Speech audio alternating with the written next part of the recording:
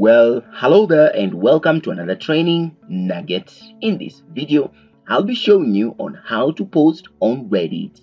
So let's get started. Well, the first thing you'll want to do is to log into your Reddit account using your provided username and password. I have already logged in and you can see my timeline here. So we'll click back to go home so I can start from the beginning. To post on Reddit, you'll navigate at the right section here and select the create option. This will give you an interface where you have the ability to post in a content of your choice. First thing you'll want to notice is your area of posting. We have different areas where you can post. This includes the communities that are available, the ones you have subscribed to and the ones that you have created, and you can also post on your profile. Notice that I can post different pieces in Reddit. I can do a text, I can do an image and video, and I can also do a link. Don't forget, if I am posting on my profile, I can also do a poll.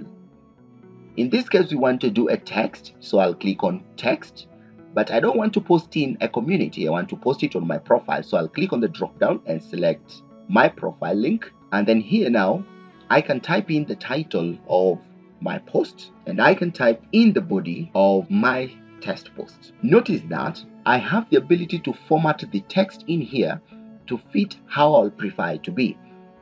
For example, there is bold, there is italics, straight through. I can also create a link in between my post by clicking on the link and putting in that link of choice.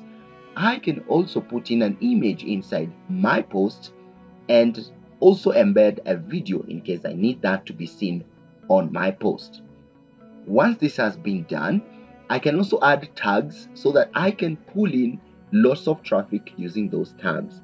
In this case, I have the not safe for work, I have the spoiler, uh, brand affiliate, select spoiler for example, select add, and I can add many more tags in here.